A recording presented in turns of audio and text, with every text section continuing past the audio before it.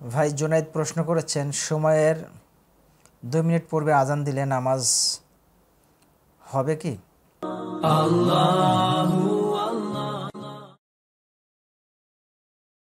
সুন্দর প্রশ্ন করেছেন ভাই জুনায়েদ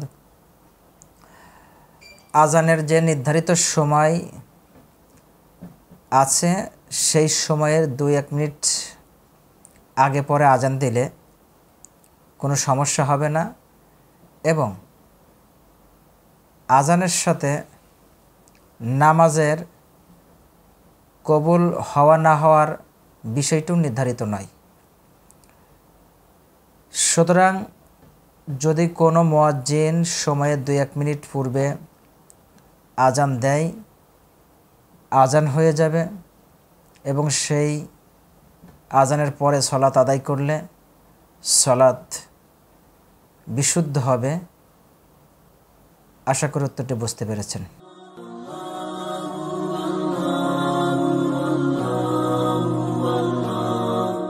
Allah